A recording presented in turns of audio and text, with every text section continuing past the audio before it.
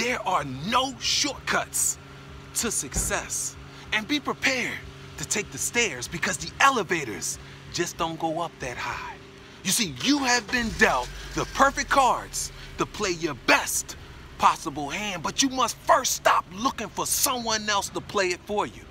And here's three suggestions that can help you. Number one, yes, you have been dealt the perfect cards, but you must first learn how to arrange them so that you're in the best position for success. Number two, stop showing your hand and telling others what your next move will be.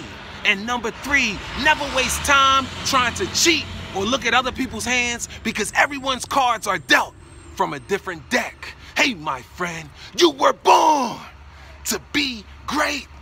Follow me on social media at Marc Baxter, Problem Solving Therapist, M A R C B A X T E R. And on Instagram, I'm at Marc Inspires, M A R C I N S P I R E S. Never forget, my friend, the great mind is the mind that can simplify all things. So get out here on this beautiful Tuesday, spread love, no excuses, and accept your cards, put them in the right order, and play your best possible hand. And I guarantee you, you can't lose.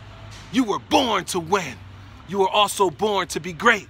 So go out and get busy.